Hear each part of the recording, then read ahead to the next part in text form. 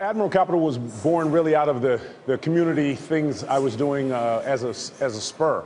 You know, we, I had a nice income. My wife and my, my, my, family wanted to do something in San Antonio, so we started schools, private schools. Then we got involved. We, it, we transitioned to, to, a charter school. Uh, and so now, in the last five years, we've been building schools. We've built basically 20 new schools in San Antonio over the last five years. So eh, that was my passion. And so, to, in order to um, support that wonderful community passion, uh, I wanted to extend my career in a different direction. So I went from basketball to business, uh, specifically the financial world. In Admiral Capital, we do um, real estate, value add real estate. So we find basically broken assets and we try to uh, fix them up and, uh, and earn some money so that we can impact the communities where we invest. And David, how does the market day to day play into all of that when we look at a, a sell off like we're seeing now?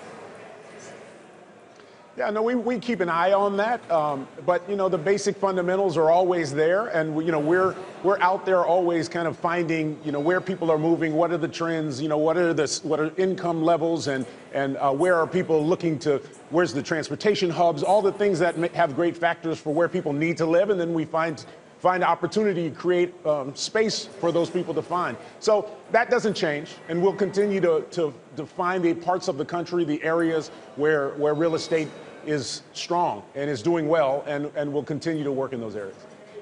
Boy, we have so many things we could talk with you about. I'm curious, you know, uh, a former fellow player, uh, Charles Smith, played for the Knicks years ago. He has started a group that helps players transition from their playing days to the retirement years, quote unquote retirement years, to help them from, you know, we hear the horror stories of players who've lost all their money because they just don't know what to do with themselves after they've played.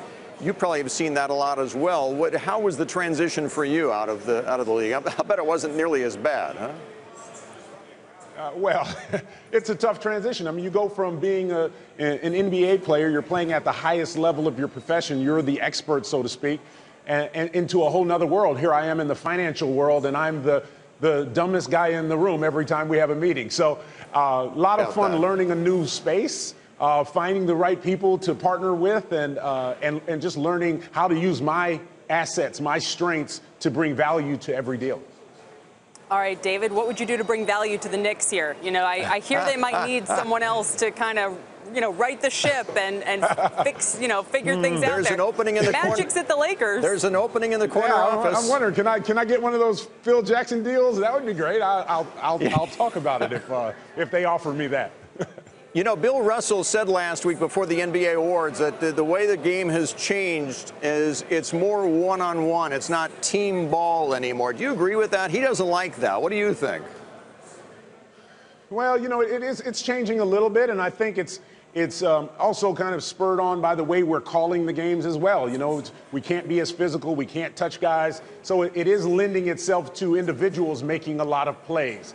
Um, but you know, you see the Spurs and you see teams like the Warriors who are still moving the ball very, very well, and they're utilizing good balance. I mean, the two teams with the best record in the league were two teams that shared the ball, had very unselfish teams. So I still exactly. think that works.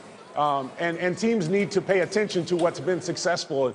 Uh, but the challenge is building. How do I build my squad to compete with, the, you know, either the Spurs or the Warriors? And that's that's where these young teams. You see teams like uh, Minnesota or you know some of these young teams like Philadelphia are trying to figure it out and get there. Right.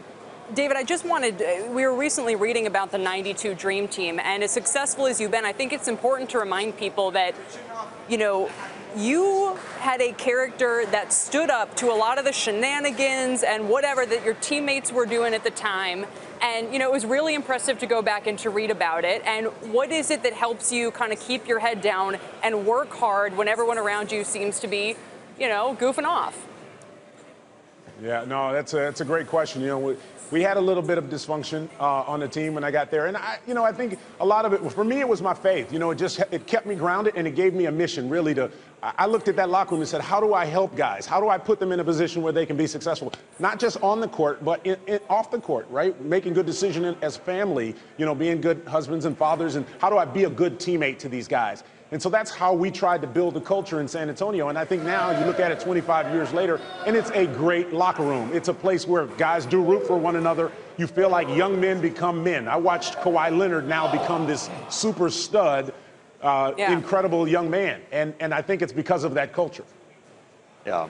And I think it's clear that if you ever run a team, it's not going to be the, the Knicks. the, the Spurs are still uh, number one in your heart. David, David, a thrill to have you Oh, with us today again. Thank you for joining us. Thanks for your time. Yeah. Thanks so much for having me today. You bet. NBA Hall of Famer David Robinson. uh, My dad had his at Hall poster in the, our little weight room, you know, the garage at home, growing only one. You know, it's incredible. Hey there, thanks for checking out CNBC on YouTube. Be sure to subscribe to stay up to date on all of the day's biggest stories. You can also click on any of the videos around me to watch the latest from CNBC. Thanks for watching.